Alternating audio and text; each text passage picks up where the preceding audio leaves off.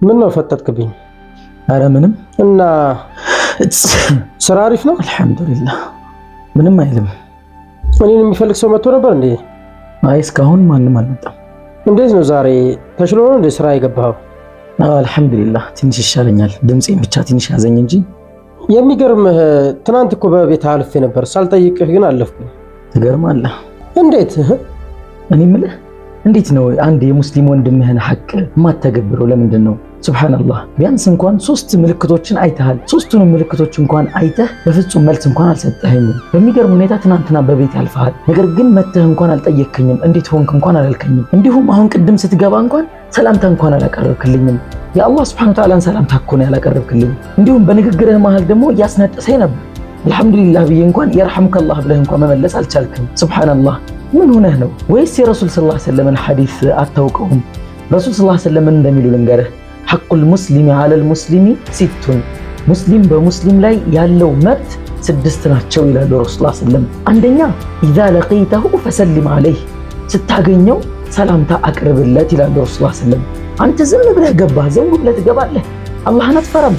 ሱብሃነላህ እንዴት አሰላሙ አለይኩም ማለት ይከብድሃል? ይህ እኮ ተግባሩ ቀላል የሆነ አጅሩ ከባድ የሆነ ነገር ነው። ሰላምታ ብታቀርብልኝ ምንም ነገር አይጎልህም። እኔ ቁጭ ብዬ ነው ያለሁት፣ አንተ እየመጣህ ነው። ታዲያ እየመጣ ያለ ሰው ነው ሰላምታ ማቅረብ የነበረበት። እኔማ ለመታዘብ ብዬ ዝም አልኩ።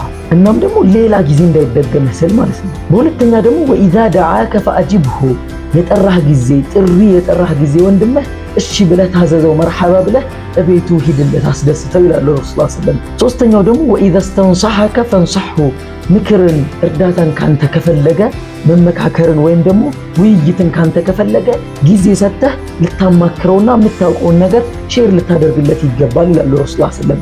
ይሄ ለሱ መብቱ ነው፣ ለአንተ ግዴታ ነው። አራተኛው ደግሞ ወኢዛ ዓጠስ ያስነጠሰው ጊዜ ከዛም ፈሐሚደላህ አልሐምዱሊላህ ካለ ፈሸምትሁ መልስ ስጠው፣ አስደስተው፣ የርሐሙከላህ በለው ነው። አንተ አልሐምዱሊላህ ብዬ እንኳን የርሐሙከላህ አላልከኝም። ቀጥታ ነው ወደ ንግግርህ ወደ ጉዳይ የገባኸው። ምን ነክቶ ነው ታዲያ? እኔ እኮ በአንተ ላይ መብት አለኝ ይህንን እንድትለኝ ማለት ነው። አምስተኛው ደግሞ ወኢዛ መሪበ የታመመ ጊዜ ፈዑድሁ ሂድና ጠይቀው ይላሉ ረሱል ሰለም። ይህንን ማድረግ ግዴታህ ነው አንተ ላይ፣ እሱ ላይ ደግሞ መብት ነው።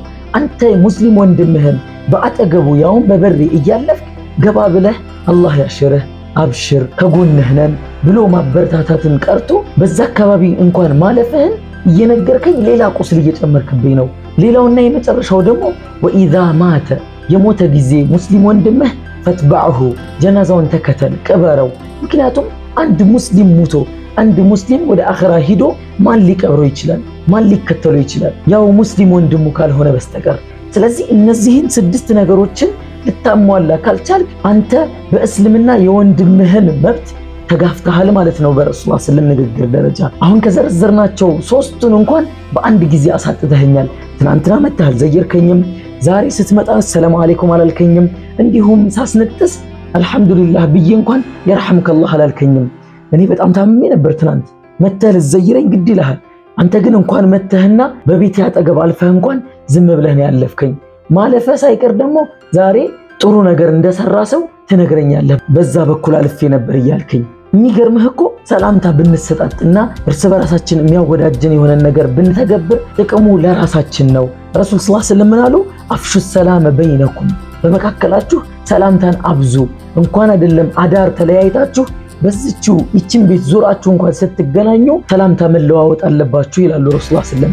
በተቀመጠ ሰው ላይ የሚሄድ ሰው ሰላምታ ማቅረብ ይኖርበታል። በእግረኛ ሰው ላይ ደግሞ ፈረሰኛ ወይም ጋላቢ የሆኑ ሰዎች ሰላምታ ማቅረብ ይኖርባቸዋል። በዚህ አይነት መልኩ ረሱል ሰለም አስቀምጠውልናል፣ አስተምረውናል። እንዲሁም ወሲሉል አርሃም ዝምድናን ቀጥሉ ይላሉ።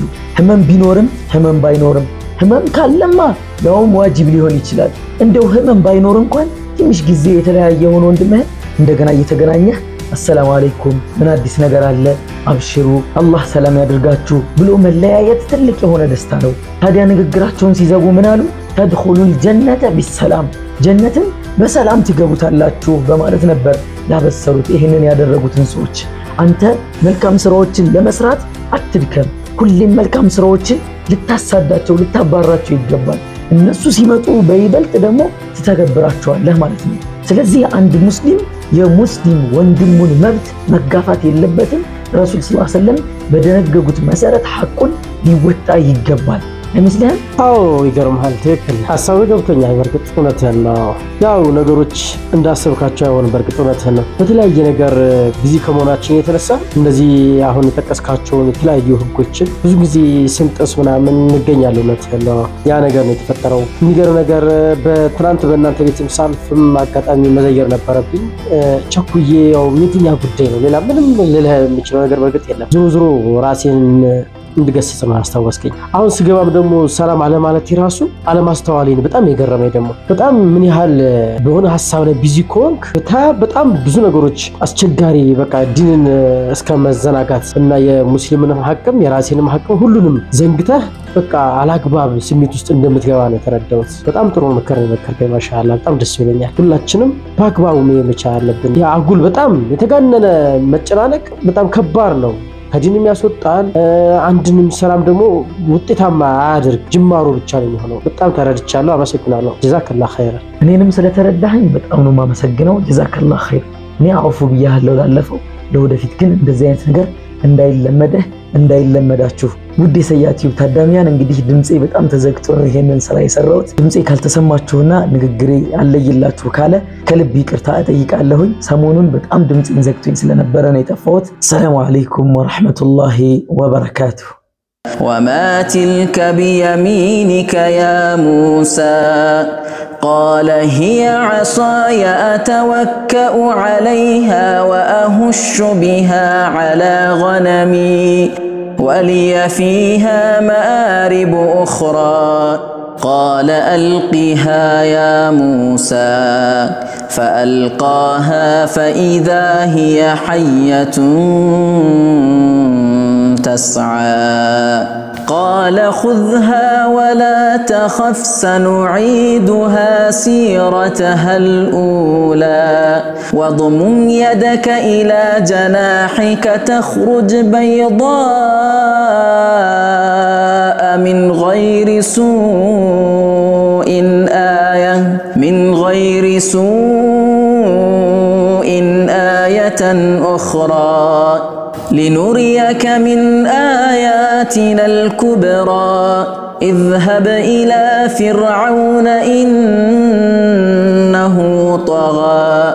قال رب اشرح لي صدري ويسر لي أمري واحلل عقدة من لساني يفقه قولي.